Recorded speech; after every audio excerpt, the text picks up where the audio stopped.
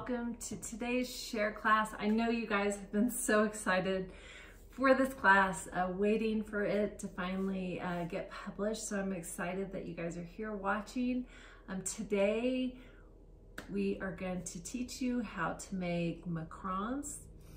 And you know, these are such a loved cookie. Um, it is a light and airy uh, almond meringue cookie um, that most people buy in specialty bakeries and uh, have never thought about making them at home. I actually went years um, with never even trying them. And then fortunately, I had an amazing neighbor whose um, daughter loved making them and brought them over to me, and they were just beautiful. And I'm like, why in the world have I not tried these? So I've been tackling these now, um, and I thought that I would break it down for you today and show you all the little steps um, to achieve these great cookies. And here's the thing, um, they require such few ingredients, um, but they, they're infamous um, for being parsnickety and just um, a little bit difficult to make and I have found that they're actually quite easy if you can just master a few of the techniques in making them. And I think then you'll make them over and over and over again and just have a ton of fun with them because you can fill them with just about any buttercream or any flavoring that you want. And truly that's the best part of these is flavoring them. I'm really happy that you guys are here today and I hope this tutorial um, will help make you a master in making the macaron. Uh, it's pronounced in so many different ways. A lot of people call them macaroons. Um, that's actually a coconut cookie. Macaron. Um, you can roll your R if you want, as the French do, or just say macaron. Uh, macaron. Um, and that's as simple as it can be. Um, I'm saying it. But what I'm gonna do, there are several steps in this recipe. And like I said, they're not hard.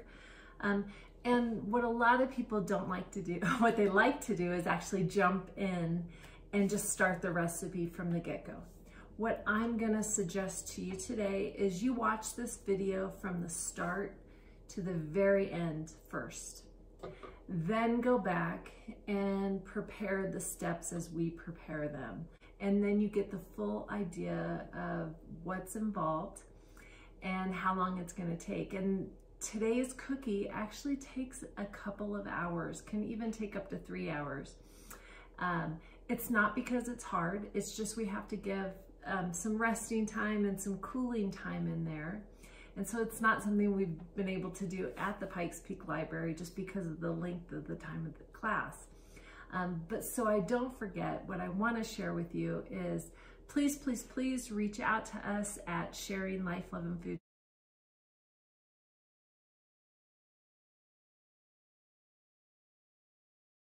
on Instagram or Facebook and we'll get back to you with any questions you may have, any issues that you come across.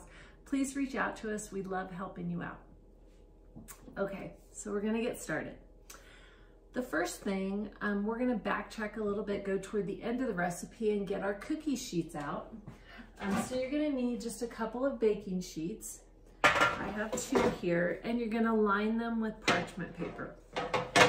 Now, a lot of people in trying to achieve this pretty little cookie want a uniform cookie.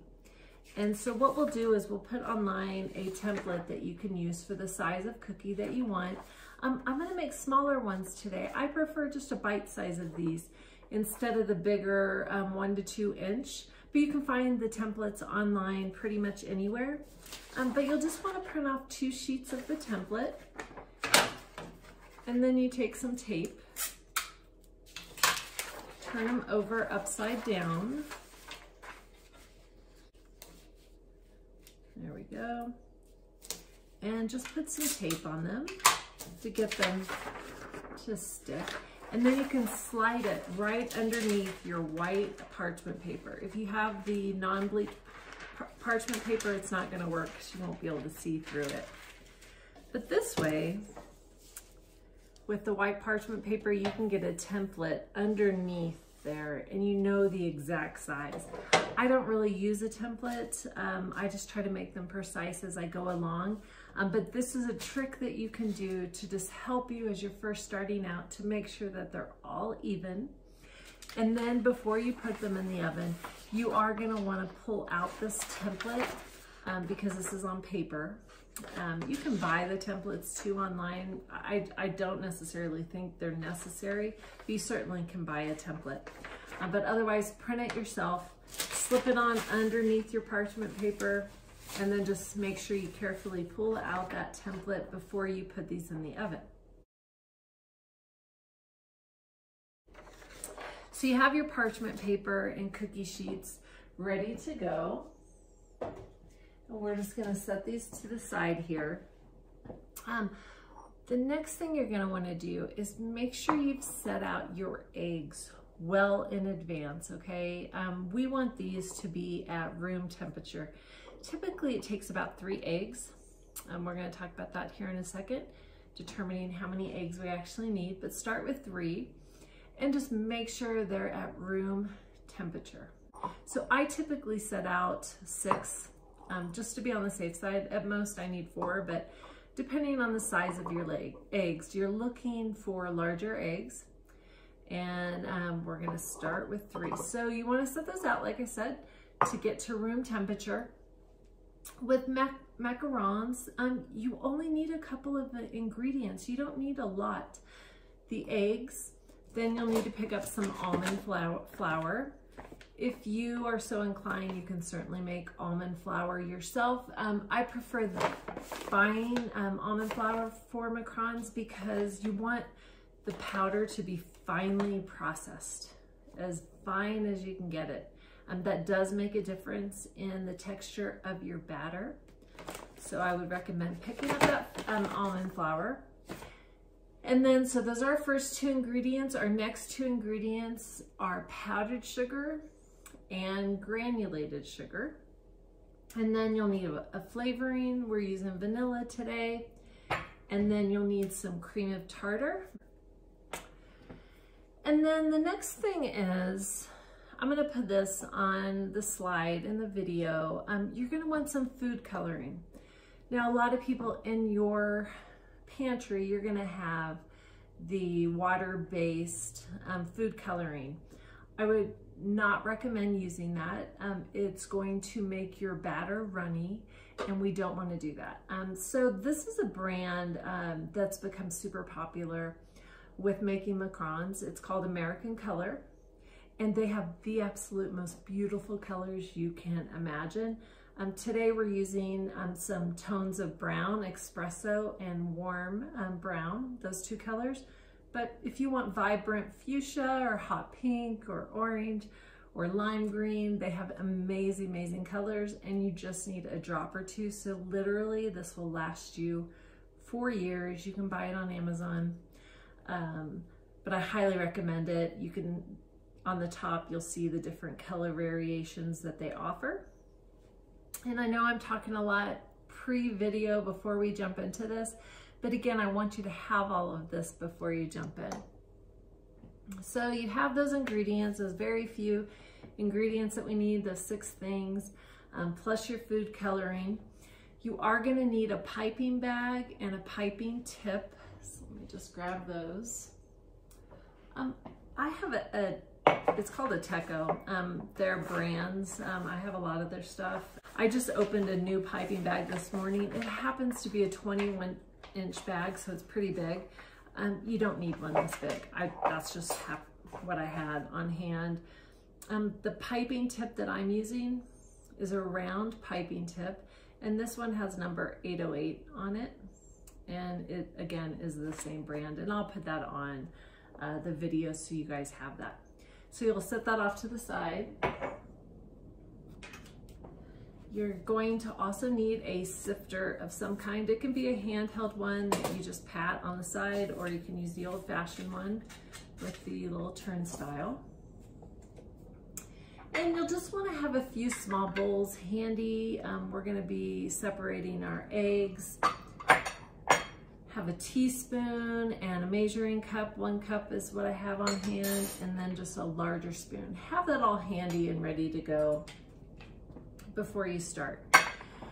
And you know, as there's a ton of you who are bakers out there, and as you know over the years, as you you bake more and more, a lot of it is sight and feel, right? As you go along, and you um, ad lib and just kind of free flow um, recipes. This is a recipe you're going to want to follow to the absolute T. Um, anytime in a bakery, um, they're making something in mass over and over again, they measure every single thing by weight.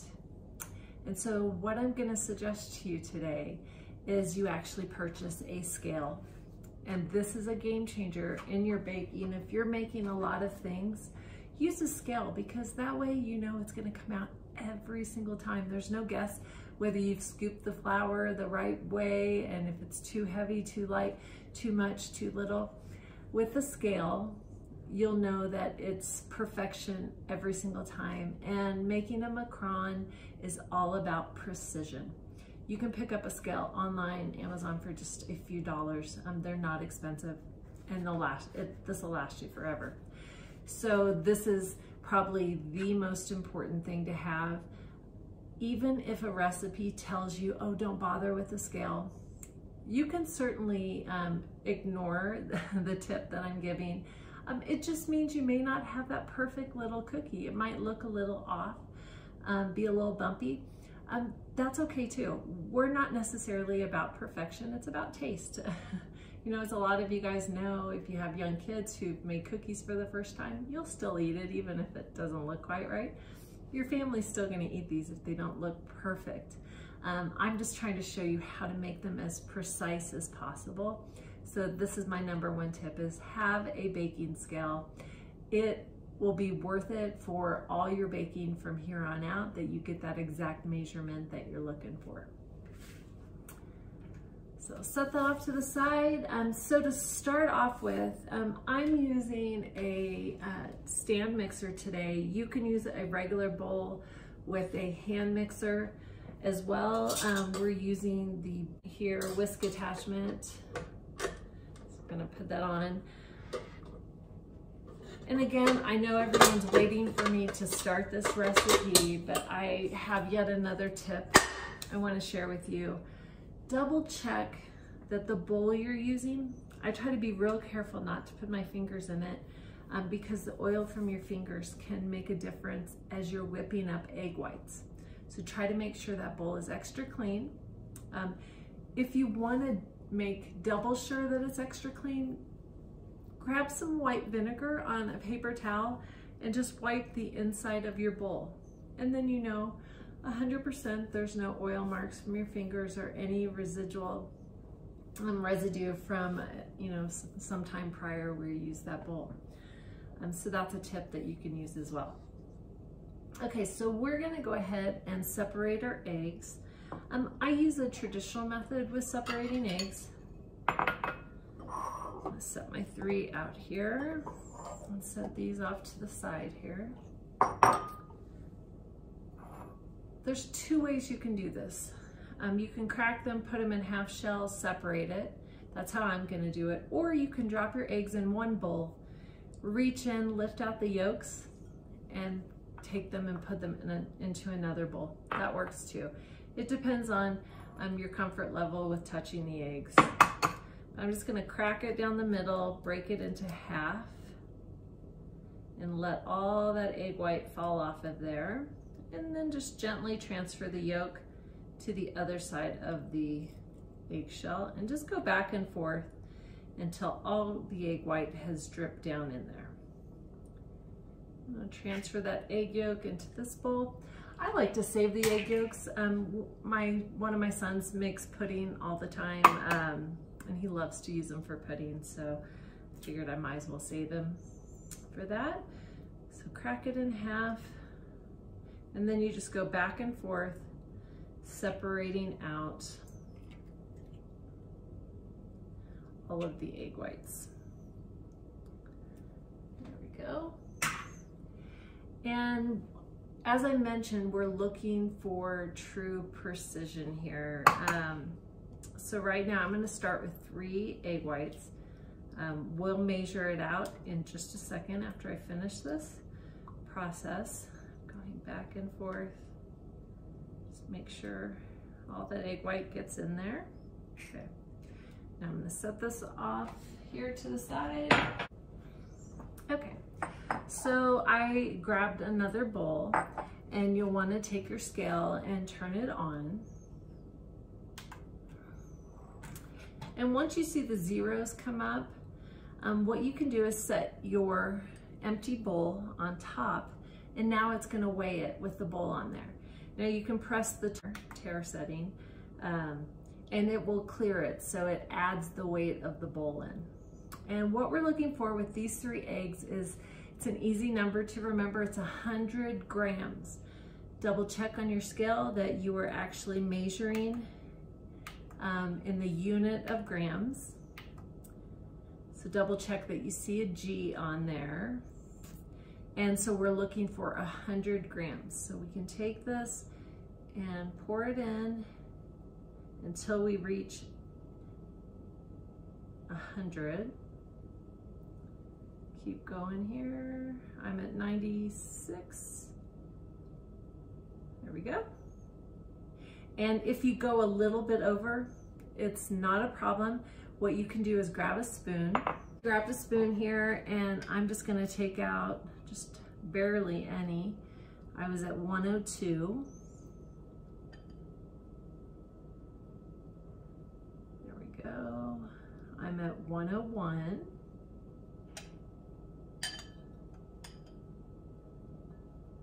just reach in. Eggs can be, you know, a little slippery there. I just find that using the spoon, you have a little bit more control over the weight that you get. So we're aiming for perfection of 100 grams, okay, for our egg whites. Once that's done, you can set that off to the side.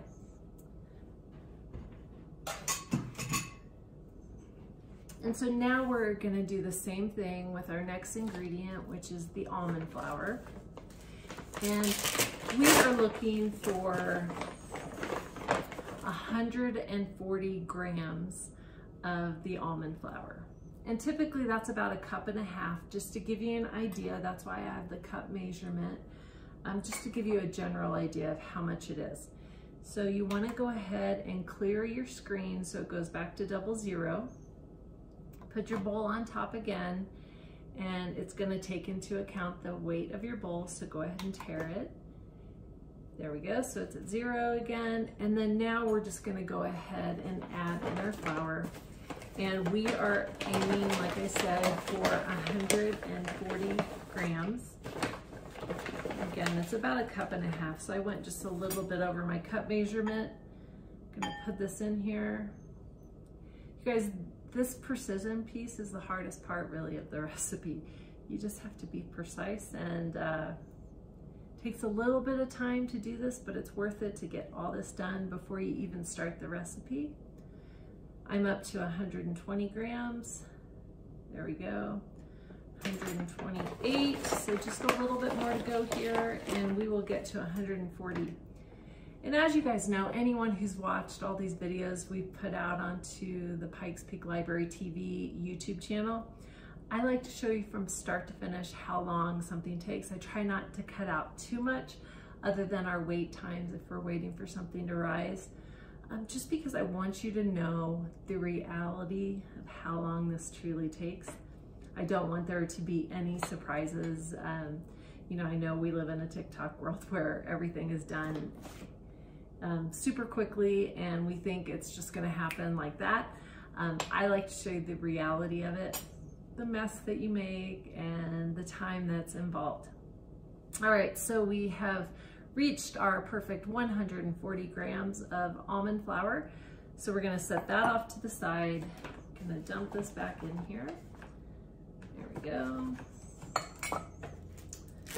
All right, and so now we need to measure out our sugar and our powdered sugar. So um, let's go ahead and measure out our Um, granulated sugar, we're gonna need 90 grams of granulated sugar. So again, on your scale, make sure it's at zero, add your bowl, it's gonna weigh that. Then we wanna hit the tare button and it will factor in the weight of that bowl. And let's go ahead and add in our 90 grams. And I'll use a larger spoon sometimes too um, to add that in to our bowl just to have more uh, control over how much is added.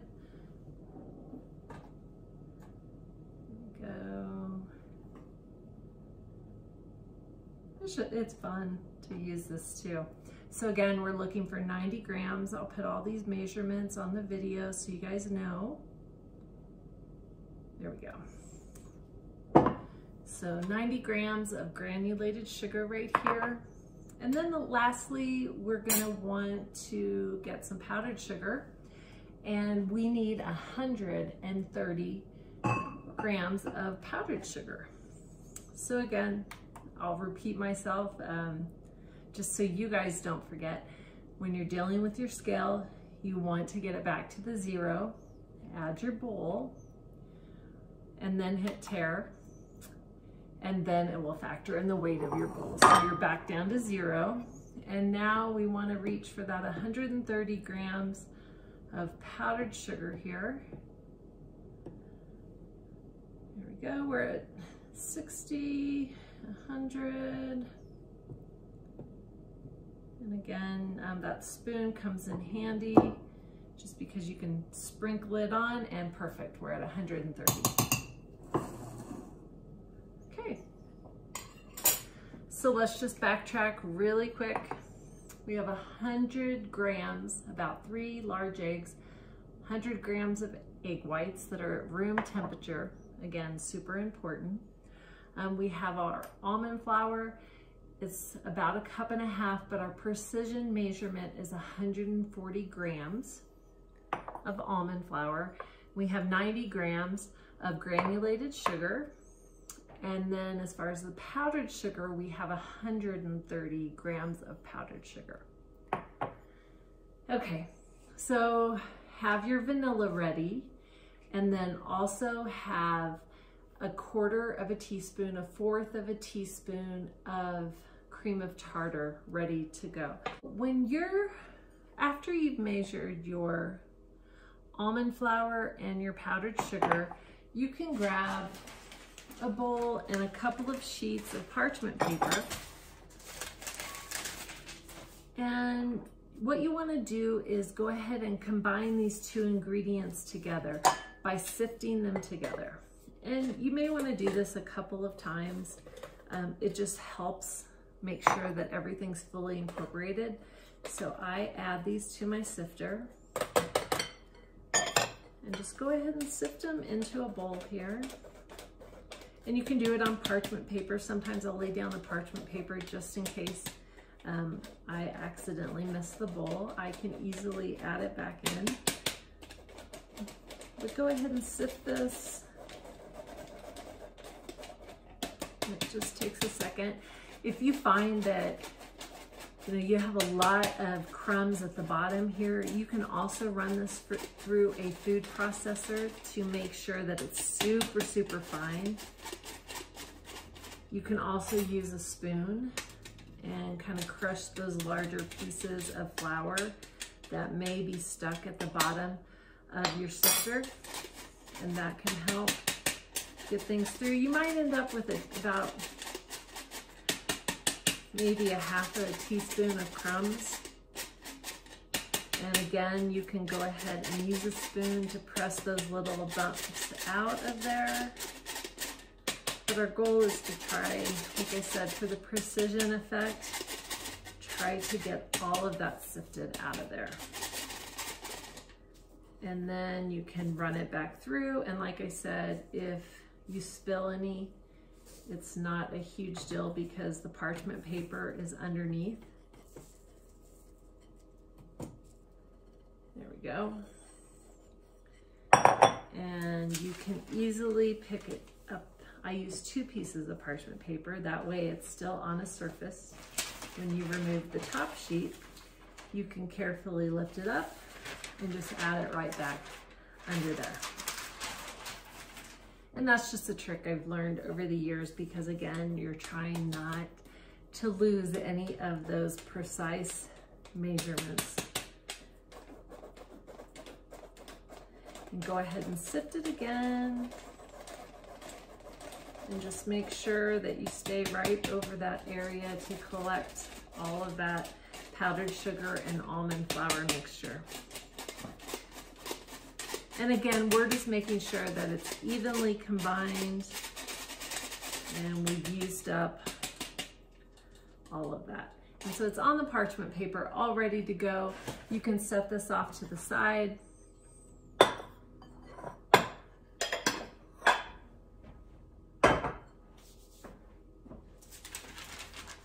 And I'll go ahead and move this over so it's out of our way for now.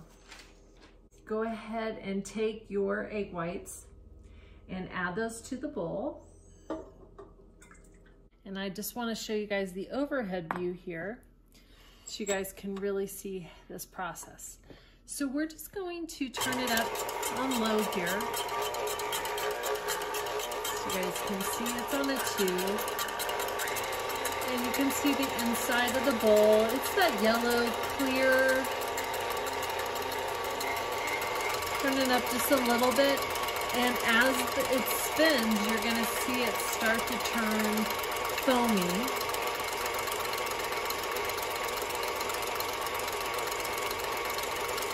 And that just means you're gonna see lots and lots of bubbles form.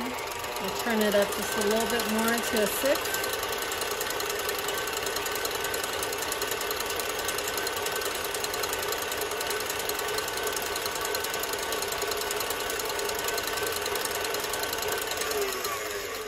Like to show this overhead view and I'd like you to see how the texture changes. You see all those bubbles down there and it's starting to form that foam. And that's your cue to add the fourth of a teaspoon of cream of tartar. There we go. Add that in. And now, oops, we're gonna turn that back on a medium speed and, and you'll see that that foam now will start to build and turn a pure white color. We're on the six right now. And I'm gonna go ahead and see how it magically is changing colors right before our very eyes.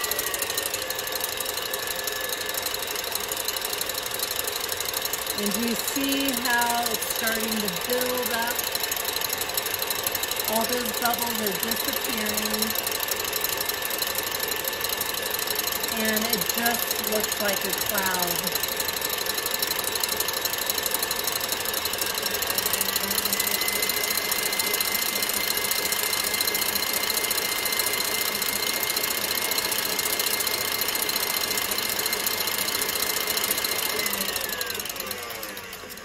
that mixture has pretty much doubled in size. It's turned a really beautiful white color. There's not really any streaks of the egg white that you can see in the batter. I'm gonna go ahead and keep going on this. Um, but now as it turns this white pillowy section, that's your cue. The soft stage is when you wanna begin to add this 90 grams of granulated sugar and you're just gonna be adding it a little bit at a time. We don't wanna deflate this by dumping it all in. It'll press out some of the air, so we wanna just add it gradually. So I'll turn this back up to a six or an eight, somewhere in that range. Let's do an eight.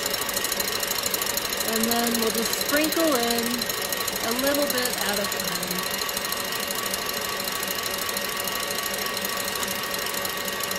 And all we're doing dissolving the sugar as air is added to this. And you're gonna start to see streaks form in the bowl. and lines form and it's just gonna get richer and thicker as it spins. So now that we're in our final stages of getting super close to having st stiff peaks, that's when you want to add in your flavorings. So we're gonna add in a teaspoon of vanilla,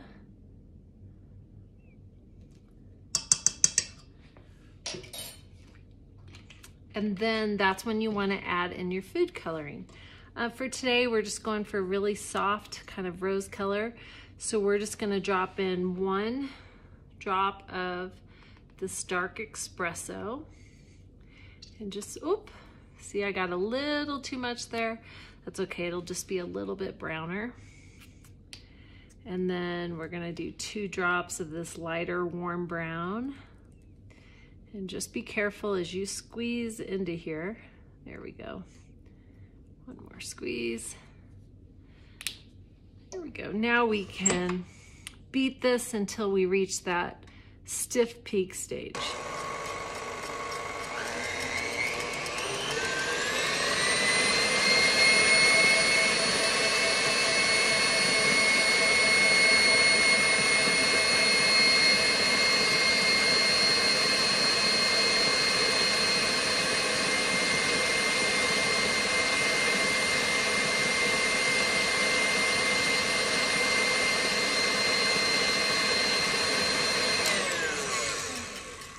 And as I mentioned, that batter will ball up into the center, and that's one of your clues that you've reached that stiff peak stage. And we'll take our bowl out here and just be able to show you, you know, that stiff peak. You can put it down in the batter and your peaks don't move at all. It stays that stiff peak. So tap out any of your batter that's on your beater. We'll test it again and again. This is, a lot of this is just trial and error. And do you see like our stiff peak, you can push it down into the batter, come up, and it doesn't even move, right? That's the perfection that we're looking for with our stiff peak batter. And it's just a really soft, soft color. Um, maybe slightly pinkish, um, as I mentioned, and as it um, bakes and sits, it'll get a little bit richer in color. Um, but you can play around, like I said, with the different colorings. Um, you can make bright rainbow color.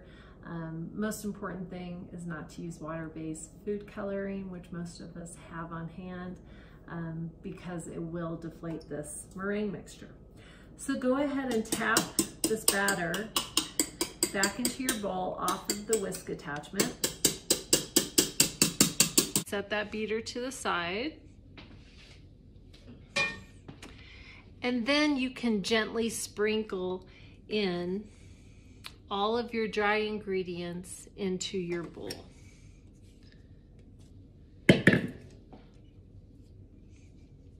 Make sure you have that spatula handy and I'll show you this overhead view.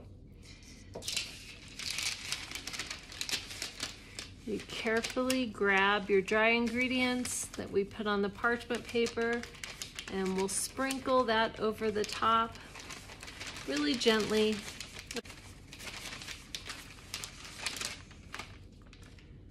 And then when you set it down, just make sure you grab the end of your parchment paper and scoop up your parchment all the dry ingredients in there so it doesn't fall over on the side. And with your spatula, you're gonna draw a straight line down, turn your hand so it lays perpendicular your spatula, swoop it up and around to finish off making our D shape, then it's gonna spin around. So we go back just straight up and down. I hope that makes sense. Draw a line down with your spatula so it's straight up and down. Turn it so it goes flat draw that D and then turn it straight up and down and go down again.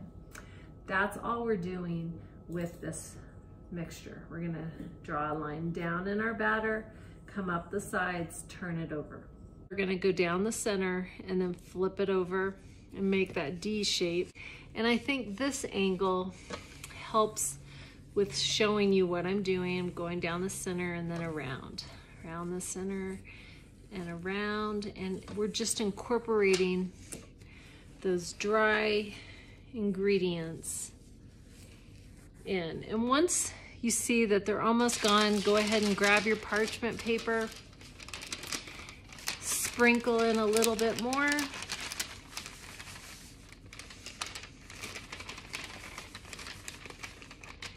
Like I said, I don't dump it, I just sprinkle. Go down the center and continue to turn. Down the center, kind of scrape the edge of your bowl, down the center. I go around sometimes, go back down the center and make that D shape.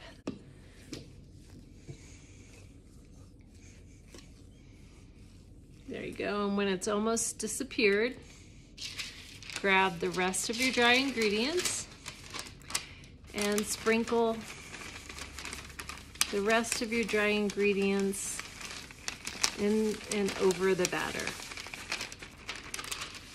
There you go. And if you see any batter on the sides of your bowl, go ahead and scrape that.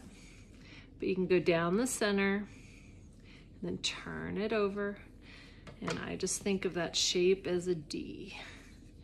Go down the center, keep turning and folding in those dry ingredients. And you'll slowly start to see the dry ingredients incorporate and your batter is going to be really thick. Just remember to reach the bottom of your spatula all the way down to the bottom of your bowl. and continue to go down into the center and then fold over down into the center and fold over and then just keep grabbing it and you're gonna see that it's pretty thick and your hand might even get a little tired doing this but look how thick this is it won't even come up of the spatula once you see all the flour mixture has gotten incorporated in there then we move to another technique, which is called macronage. And all that means is now the macronage stage is when we try to get the batter into a fluid, ribbon flowing type batter. If you watch any, you know, anyone else online, they'll describe it as this lava flowing batter. I don't like to use that term because most people don't ever see lava. Um, just think of a free flowing batter that actually falls off your spatula. That's what we're gonna be looking for. Um, a technique of the macronage is to take the batter and we're gonna be releasing the air bubbles um, by pressing the batter up against the side of the bowl. And that, you're gonna push it out the bubbles. So push the batter to the side, release those bubbles, and go ahead and spin it. And again, we are using that, that shape, the D motion of dragging it through, but you can now press the batter up against the side of your bowl, as you guys can see here. You press it up and you'll start to see your batter kind of loosen up and you can lift your spatula up and you can see those ribbons of batter start to form. And all we're doing is pressing those air bubbles out and you'll start to see air bubbles pop everywhere throughout your batter. And you can press down and you'll see all those holes all throughout your batter, everywhere holes, and all those holes are, are air. And again, all this takes is just some practice and you'll start to, if you pay really close attention to the batter, you'll start to recognize all these different stages. And as you press down, the less holes you see in the batter, the closer you are to being to that stage where your batter is just gonna free flow off of your spatula. If it's super thick, you're not quite there. You gotta keep going. A lot of people, you know, I've counted this, sometimes it's 40, sometimes it's 50 turns. I kind of, I really like to learn to go by sight because everyone uses a different shaped spatula, a different size bowl, a different amount of pressure as they're pressing, pressing out. So see how I push down against the side of the bowl, the batter, and that's that macronage that's pressing out any of the air bubbles. So let's see, a lot of times they'll say that you can make a figure eight with the batter once it starts to free flow. So I'm gonna keep turning this.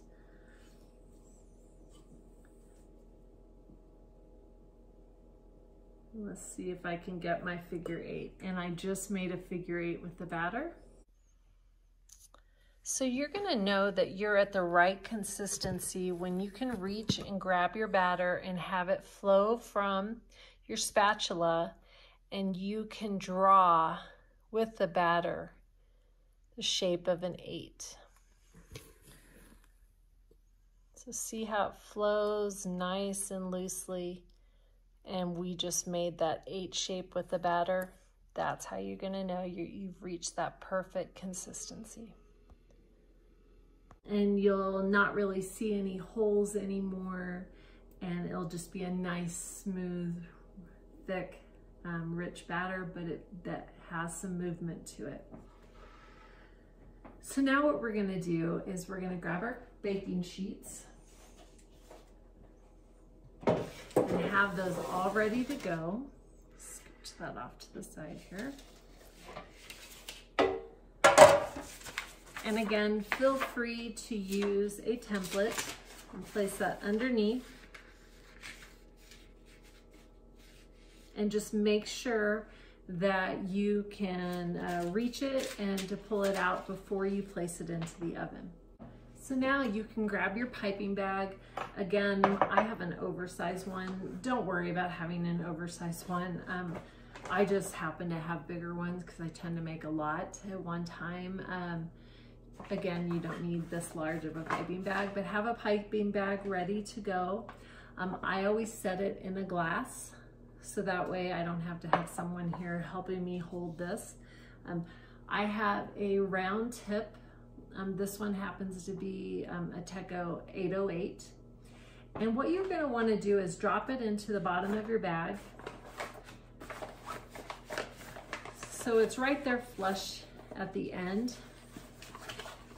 And then what you wanna do is twist. Why are we twisting this? Well, because if you don't twist it, then when you drop your batter in, it's just gonna fall out the other end. So that's just a little trick. Twist it just a bit so your batter is not just going to plop out of there. And you're gonna take your batter and just using your spatula, go ahead and drop it down into your piping bag. There we go. Scrape as much out as you can. Go. And use your spatula to get every last bit of batter out of there. And you guys can see just in that short amount of time, that pretty soft pinkish color that we've gotten with that food coloring. It's just a super pretty, pretty color that you wouldn't get from using any other type of food coloring it's really my favorite part is just exploring with all the different colors and you can wipe your um, batter off on the side of your piping bag there and then set your bowl and spatula off to the side. Now, to get started, like I told you, um, I'm gonna make the smaller ones. I'm not gonna make the bigger ones. You can practice making the bigger ones. Um, I just find that when you first learn, making smaller ones is just a little bit easier. we're going to be folding up the top of this piping bag and applying pressure from the top of the bag, not the bottom. This hand is just gonna be there as a guide and you're going to gently press, it. you'll see it come out and you'll go to the edge of your circle of your diagram underneath your template. And then you're gonna stop piping. You're gonna go around in a circle motion and let go and pull it away. And don't worry if you have a peak form, we'll worry about those later at the end. Um, we'll press those out of there. Um, but that part is important. Try to stay 90 degrees up and down as you're piping these out. Try not to turn your arm this way or that direction. So I'm gonna unfold my bag here. And I'll just say it again, um, you do not use, need to use this large of a piping bag. This one happens to be 20 inches, uh, 21 inches. It's just what I happen to have on hand today. Um, but what I do is I fold in. I like to work with the larger ones because then I don't have to keep adding to it and making a huge mess. And at the end, remember how we twisted? Go ahead and untwist it. And as you fold down the top of your bag, see I fold it in on the sides, one, fold in one side, kind of straighten out your bag, fold in the other side, and then I fold the top down, and then I just keep folding until I see it align with the edge of the batter. My batter starts right about there. And you'll see if you press on it, then it's going to come out the bottom and we don't want that to happen because then you'll make a huge mess. So you'll see it start to come out, put it right over your template and keep it straight up and down. Apply just a little bit of pressure, go around in a circle and you can lift up. Go to the next one, a little bit of pressure. And again, you can press down and then do a circle little bit of pressure. You don't have to move it around just until it reaches the edge of your template and then you're gonna spin your hand around. Okay, hopefully you guys can see that. We're going 90 degrees. We're applying with my right hand just a little bit of pressure so the batter flows out. I'm not moving around in a circle at all. And now at the very end, I make a round motion a circle motion. So go straight up and down, gently push. And when I say gently, you'll barely have to push that batter out. And you can kind of push it down till it reaches the edge of your template. Go around in a circle. And you go to the next one and you just keep going just like that. Um, I'm gonna go ahead and finish this um, I'll put it on a fast speed so you guys don't have to sit here and watch me pipe over and over again. Um, but this way you have a general idea. You're just holding it straight up and down, applying a little bit of pressure with your right hand, just a little teeny tiny bit of pressure. It will naturally flow out of there. And then you make a circle to finish it and it will drop off of the edge of your tip. So we'll do it one last time here. Hold it up above here. We're not moving it. We're just letting it gently come out of there. We're applying a pressure with our right hand till it reaches, reaches the edge of your template. Then you make a circle. And if you get a large peak like that, it's okay. Um, at the end of this, we'll come back with the toothpick and press those down.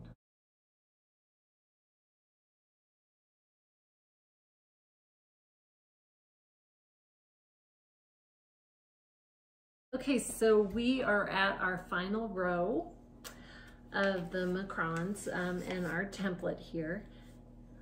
So I did the fast forward motion just so you guys could see kind of it's a patient process.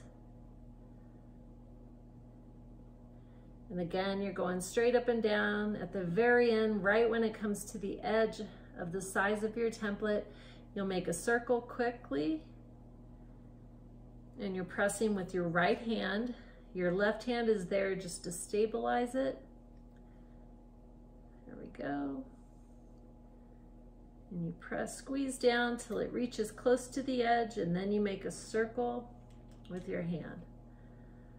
Just like that. And then you can turn it upright and just remember, make sure you get that template out of, I'm gonna use the edge of the bowl there. Hold your parchment paper and then gently reach in and pull out your template. And you can put that on your other baking sheet here. And you can have that.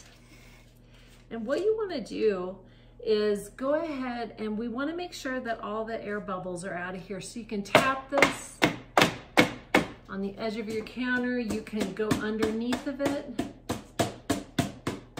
and just hit all the rows on here. And we're basically trying to pop out any of those bubbles that may have formed and go ahead and tap down on your counter. And you can look at the tops of your macrons and if you see any air bubbles, go ahead and grab a toothpick and you can take the toothpick and just pop it and smooth that out. And as you guys can see, as you pipe, if you got that peak on there, by the time you tap all this down, your peaks will be gone. Okay, and sometimes if you accidentally get some extra batter, you know, elsewhere on your parchment paper, you can always use this tooth, toothpick um, to wipe that off. But if you want your macarons to have that nice pretty top, um, you can pop these air bubbles or press down any of those peaks that might still be standing. And this can take a minute or so. Um, go ahead and pop those out. Again, I'm not overly um, picky because I think people just appreciate eating these ma macarons um, as opposed to making sure that they look 100% perfect. But you know, you can certainly spend a lot of time just making sure everything looks super smooth and perfect and popping out all those bubbles. Or like me, if you're okay with just a little bit of imperfections here and there, um, you can keep moving on. And again, you can use the side of your toothpick to kind of smooth things out just a little bit. And another trick is you can wet your finger. So I'm gonna add some water to this. Add some water to this bowl. You can dip your finger in, shake off any extra water, anything that does have a tip, you can go back through and just gently press down.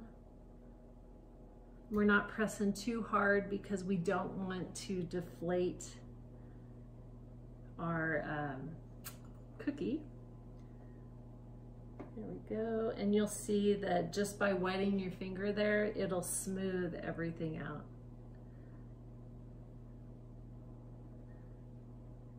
There we go.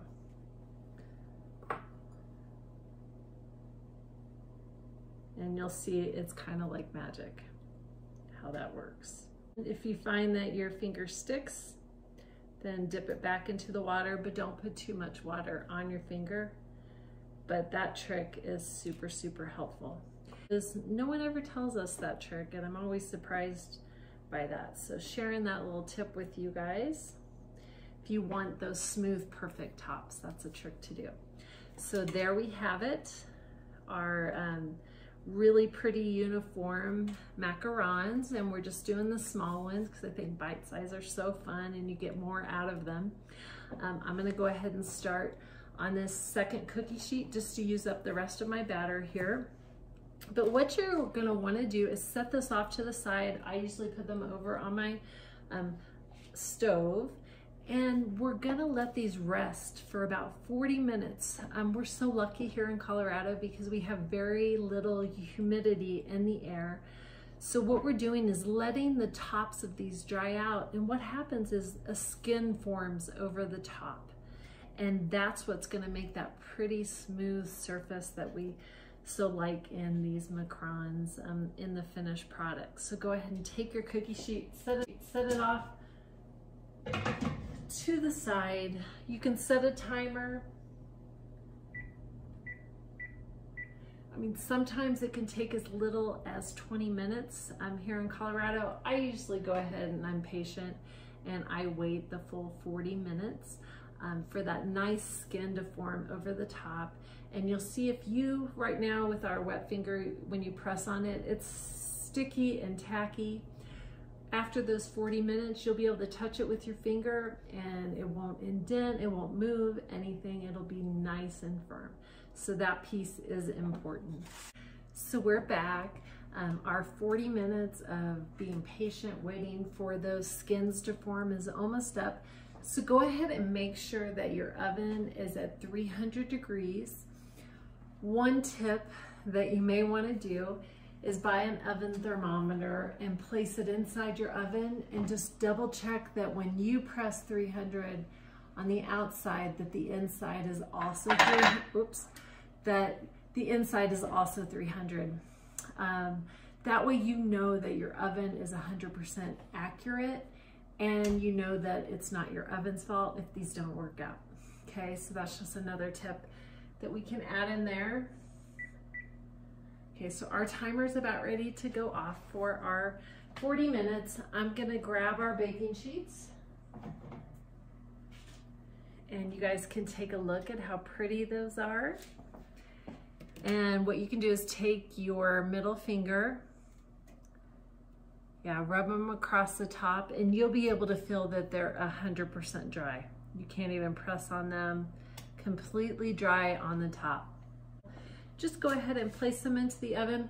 Because we're making smaller ones, we're only gonna put them in for about seven minutes at 300 degrees. If you're making the full two inch um, standard size cookie, um, typically it's about 12 minutes um, for the baking time, but for the smaller one inch cookies, um, it's about seven minutes.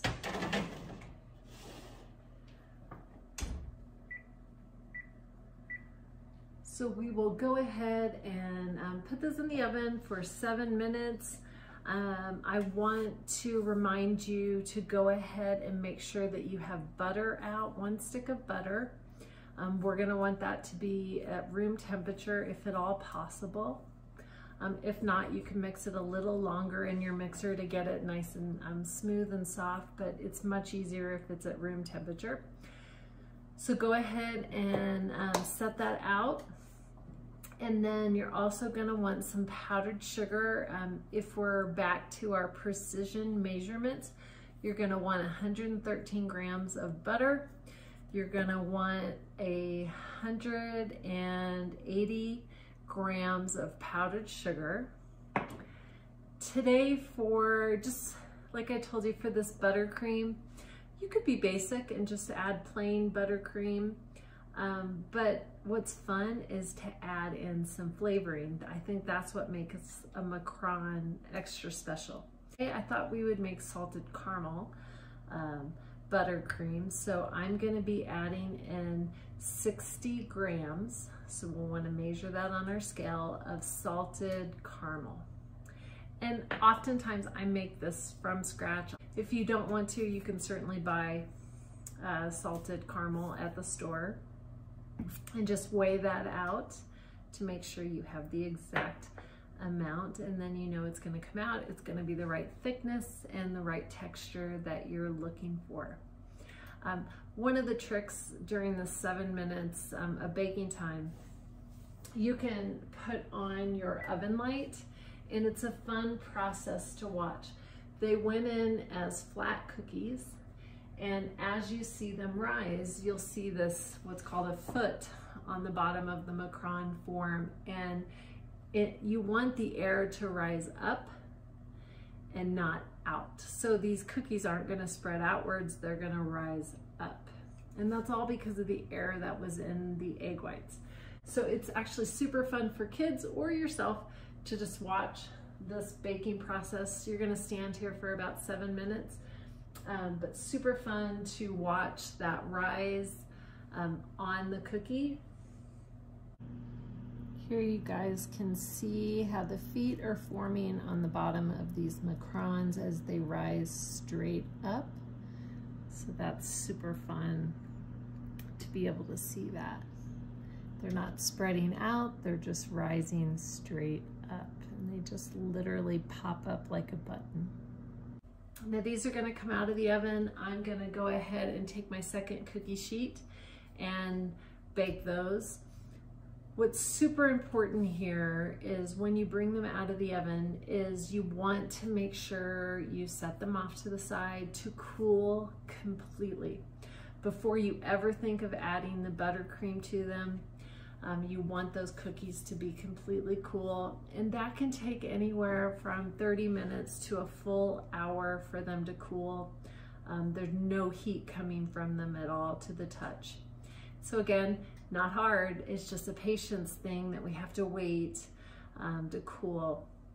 But that's why I did want to tell you about the butter. Go ahead and set that out now and you'll have a good amount of time for that to come to room temperature measure out your powdered sugar and your caramel. Make sure that um, it's at room temperature as well. You don't want to use cold ingredients when you're making buttercream.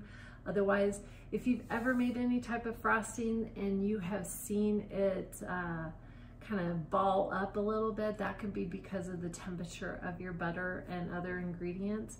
Um, if you find that your powdered sugar is super lumpy, you can also sift that to make it super fine. Um, you can also run a spoon through there and a fork um, to try to break up any clumps that you have before you mix it up. And that way you get a nice smooth buttercream. Um, but have some fun with the flavoring and some colors of these macarons. Um, you know, the basic measurements of the powdered sugar and the butter are you know, gonna be in this video and you can start with that. You can add jam, um, strawberry jam to it, 60 grams, and make a strawberry filling. You can add raspberry filling. Um, I like Bonne Maman jams and you can add that to it and it's delicious. Really, it's up to your imagination what kind of filling you wanna add. I just like to add different flavors. Um, and the longer you let these sit, the more the flavor de develops and the more delicious they are. Um, so as I've repeated over and over again in this uh, video, this is just a patience process type of cookie. And once you master all of this, you'll fall in love with this process and you'll wanna make them anytime you have a couple of hours on a weekend or an evening and your family will truly love you for it.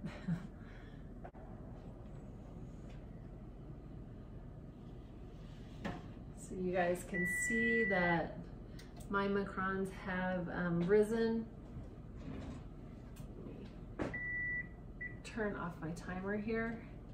They've risen straight up. I'm trying to tilt it so you guys can see how pretty they are and you can kind of see the rise of the cookie, how it puffed up straight up. And I'm just gonna set these off to the side to cool. I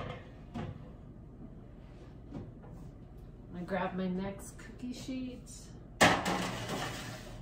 In the end, I ended up getting about 28 more on this second baking sheet. Um, so we have 98 cookies total. And then you'll divide that in half, which would be around 40, um, let's see, 98 divided by two is 4, 18, 48 cookies um, out of the deal just by making them one inch. And so I feel like getting the bigger bang for your buck and more cookies is the way to go instead of just 20 some cookies um, of the bigger ones um, because you're gonna want these and you can store them in the refrigerator um, and they just get better and better like I said. So the cookie sheet is sitting there And, you know, again, we're back to that patience process of just letting our cookies cool. I'll be back with you in about 30 minutes to an hour, depending on how long these take to cool. And we will make our buttercream up and go ahead and make the filling for our macarons. So we're back now. We've been letting our macarons cool completely. We're now ready to make our flavored buttercream. Like I said before, you can, um, you know, use plain buttercream if you want, which is just sweetened butter.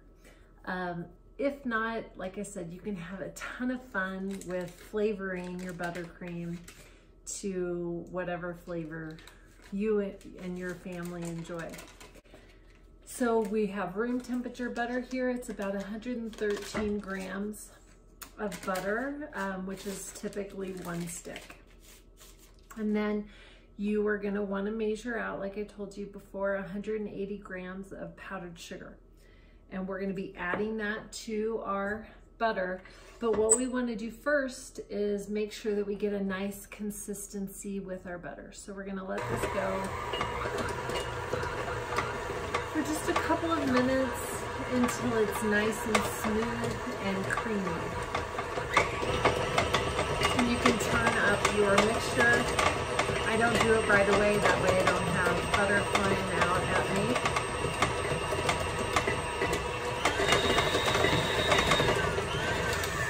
Working with soft butter uh, just makes the process a little bit easier. And then you can add in your powdered sugar. You might want to grab a spatula too to help yourself out. That way we don't spill powdered sugar everywhere.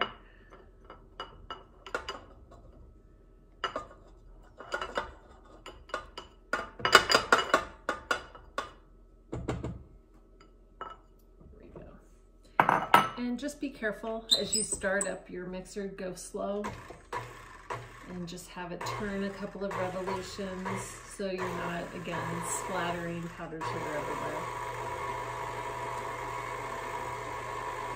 And this is just gonna look like a big clump here. You can go ahead and add in your salted caramel as well, scrape, using your spatula, scrape it out of the bowl.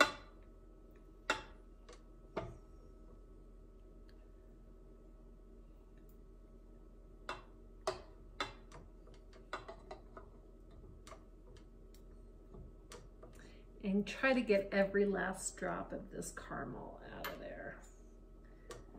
All that yummy, yummy caramel.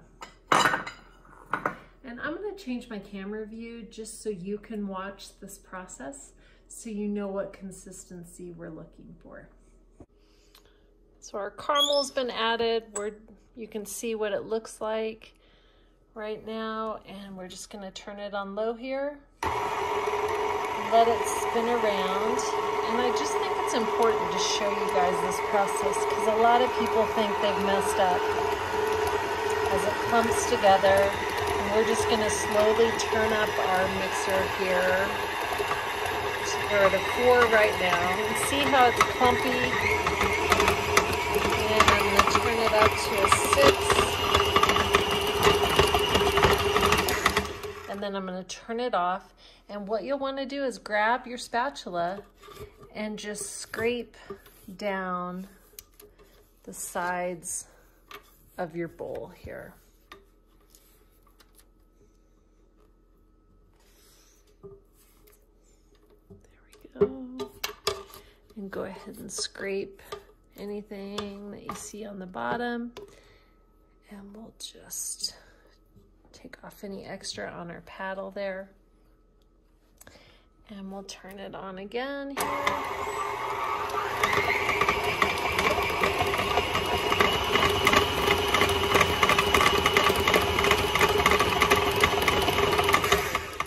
And what you can see is the batter's now sticking to the edge of the bowl and it's starting to smooth out. And if you look closely at the bottom, you can tell that there's still some powdered sugar down there. So you wanna go ahead and grab that spatula and scrape down the sides of your bowl and go ahead and push it down into the bottom of any spare powdered sugar that you see at the bottom. So we're just scraping that up and pushing it down to the bottom. And we're gonna try to grab all that extra sugar that is on the bottom there. And again, you just have to be a little patient on this process. try to incorporate any extra powdered sugar on the very bottom of your bowl into the batter there. Okay, good. And now we'll turn it back on. Again, it's on a two right now. We'll let it spin around. Again, we have just a little bit of powdered sugar there at the bottom. So reach again for your spatula and just push it up into the batter. And again, scrape down the sides of your bowl and try to just scoop up any of that extra powdered sugar at the bottom. If you don't scrape it up, it won't incorporate all of the powdered sugar. It'll end up in the bottom.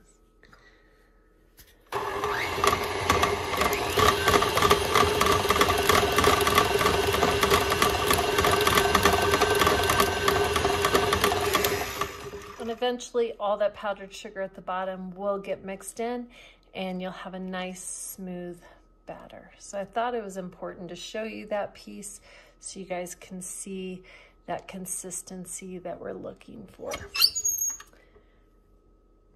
So now that you guys can see that consistency that we're looking for, I thought that view would help you a little bit better. Go ahead and grab that spatula again and scrape off as much of that yummy buttercream that you can. Again, today we did the salted caramel buttercream. Oh my gosh, it's so delicious. So, so good. But scrape off as much as you possibly can. It's not gonna look like very much buttercream. And I know you guys are gonna think you need more, but you need barely a teaspoon for these one inch macarons, um, one teaspoon of filling. And uh, for the larger macarons, you'll need um, just barely a tablespoon of filling. But try to save every little bit you can by scraping off your batter. And then I like to just scrape down the sides of the bowl and get all that batter down into the center. There we go. And you guys can see it's just gonna look like about a cup of buttercream. My hands here. Now you'll wanna grab another pastry bag. I have a smaller one here. Um, the one I used earlier was my larger one. And you can place another round tip into the bottom of it. This one has a little bit of a smaller tip. Uh, let's see if I can read the size of this. This one is an 804. And I'm just gonna put it into the bottom of my pastry bag.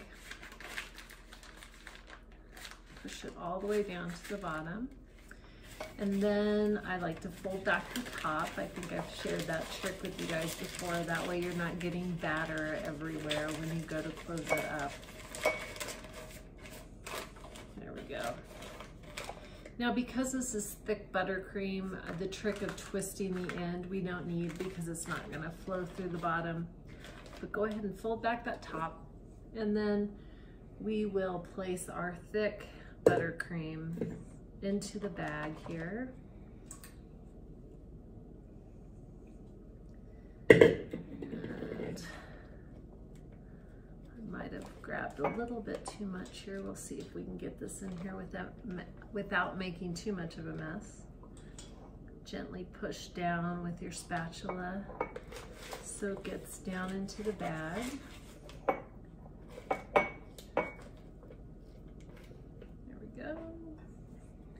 And putting it in that cup just helps you so it's not falling over on you and making that much more of a mess. Scrape out your bowl and you can use the sides of your pastry bag to just wipe that buttercream off of there. All right, so grab the edges of your bag and pull up. There we go. And that's just a helpful trick so you don't have buttercream oozing out of your bag. And then just push together the top and you can push it down into the bag and then you're not getting the whole outside of the bag super dirty with buttercream.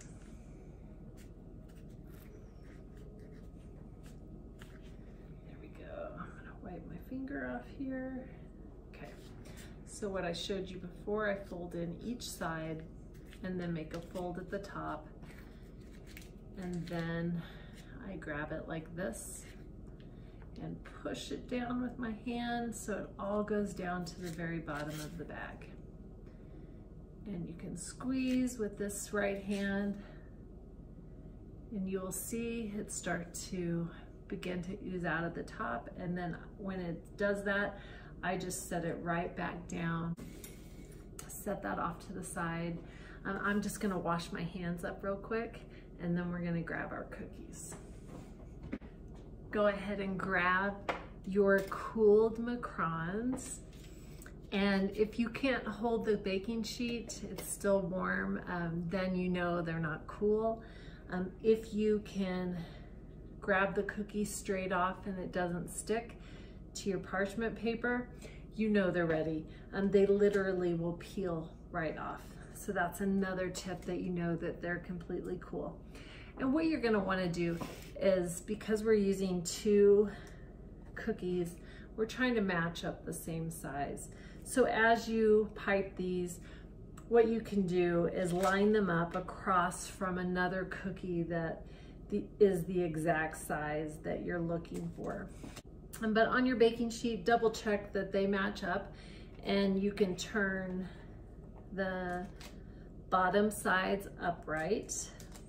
So I'm just turning them over so the flat edge is on the top. And that's only one half of the cookie that I'm doing that to. And then because our cookies are one inch, they're not very big, we're literally just gonna squeeze a teeny, teeny, tiny bit, a dollop onto the cookie.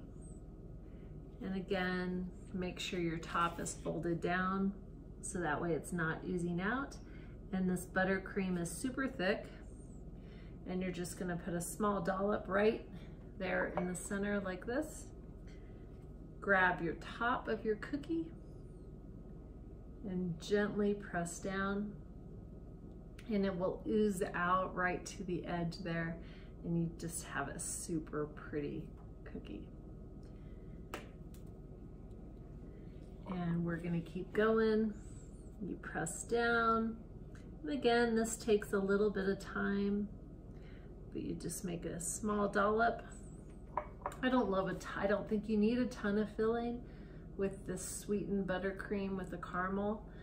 You don't need a ton, but just a round dollop right in the center. And again, squeeze with your right hand.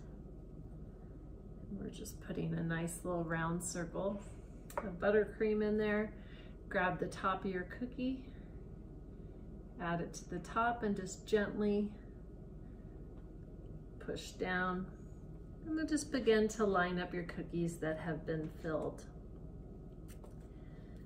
And then just having this glass nearby to rest your pastry bag in as you go along is super helpful. Give it a squeeze a round dollop. And we'll just continue on this process of filling our Macaron cookies.